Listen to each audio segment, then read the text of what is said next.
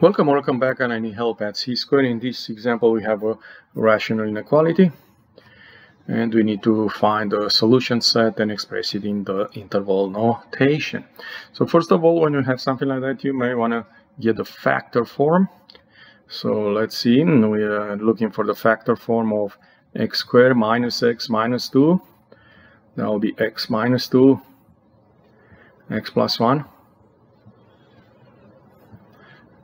and let's look for the factor form of the denominator x squared minus 4x plus 3 that will be x minus 3 x minus 1 greater than 0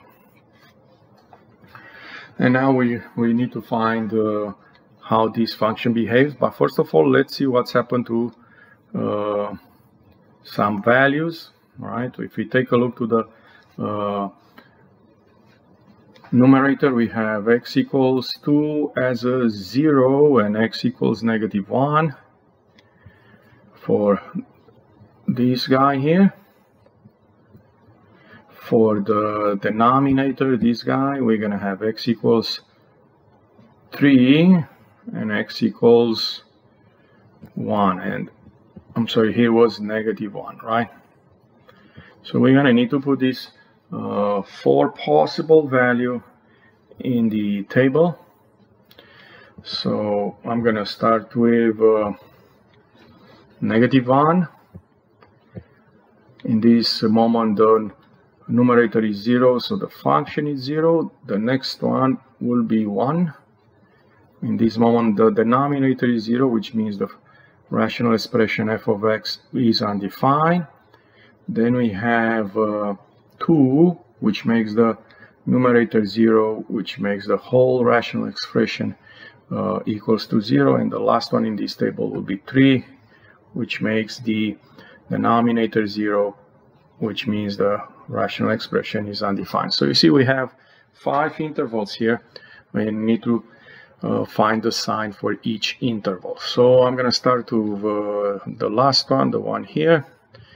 A number larger than 3 is going to make x minus 2 positive, x plus 1 positive, x minus 3 will be positive, and x minus 1. All four are going to be positive numbers, so the outcome for this situation will be a positive number.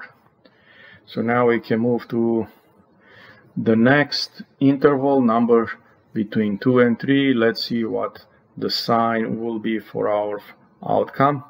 So a number between the oh, 2 and 3 will make x minus 2 positive, x plus 1 positive, x minus 3 that will be a negative number and x minus 1 will be a positive number. So looking to this situation positive, positive, negative, positive, this will be a negative number.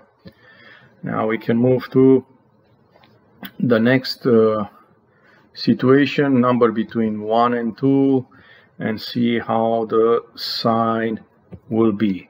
A number between 1 and 2 will make x minus 2 negative, x plus 1 will be positive, uh, x minus 3 will be a negative number and x minus 1 will be a positive number in this situation negative and positive uh, will be a negative negative and positive a negative and the final outcome will be a positive number here. Uh, and we finish with this interval. Let's move to the next one. The next one we look into numbers that are between negative 1 and 1 0 will be a good one and easy to check if you want to do it. And we have x minus 2 will be a negative number. X plus 1 will be a positive number. Um, x minus 3 will be a negative number. X minus 1 will be a negative number. So in this situation we have a negative outcome for the numerator positive for the denominator. So the final answer will here be negative. Okay? And we have one more interval to check the sign that will be for numbers that are less than negative 1 that will be right here.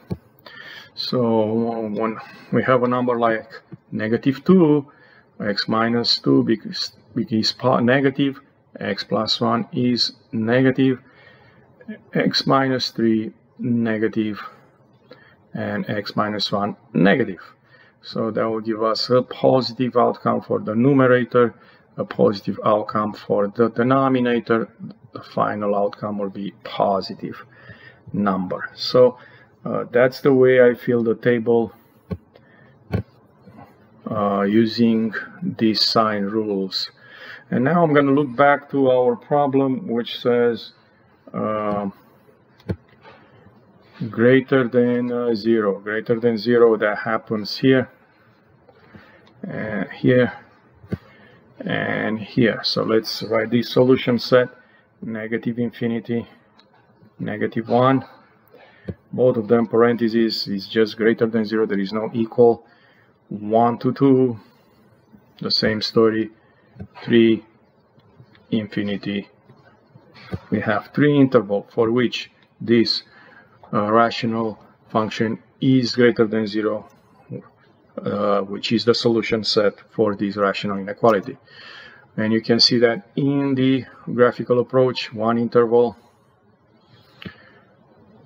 the second interval and the third interval. In these moments the function is over the x-axis so that function is positive there if you enjoyed this video clip don't forget to click the like button and come back on C Square for more help. Thank you